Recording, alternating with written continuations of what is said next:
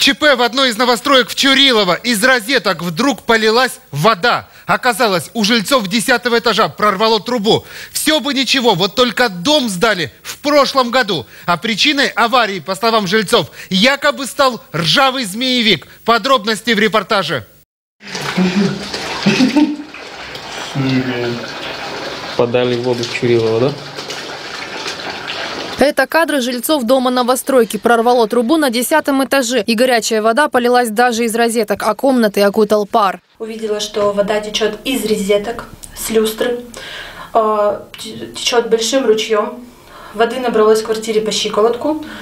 Было ходить очень трудно, потому что вода была кипяток. Повредила ламинат, повредила обои потолок. Причиной коммунального ЧП в новом доме, по предположениям жильцов, мог стать ржавый змеевик. Еще в феврале управляющая компания по просьбам хозяев квартиры провела ремонт, но, видимо, что-то пошло не так, и труба лопнула. Вода была горячая, сильный пар. В результате мы позвонили э, в аварийную.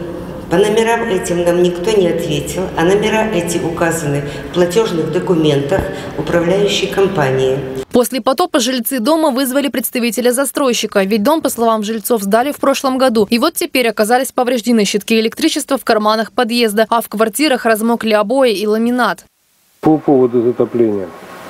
Ну, это чисто житейская ситуация. Значит, мы, по всей видимости, будем назначать экспертизу, почему труба оторвалась, э, полотенцесушитель от основного стояка.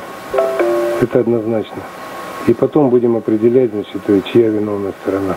Сейчас жители дома подсчитывают ущерб. По результатам экспертизы будут установлены виновные лица. И, видимо, с ответственных люди будут требовать компенсации.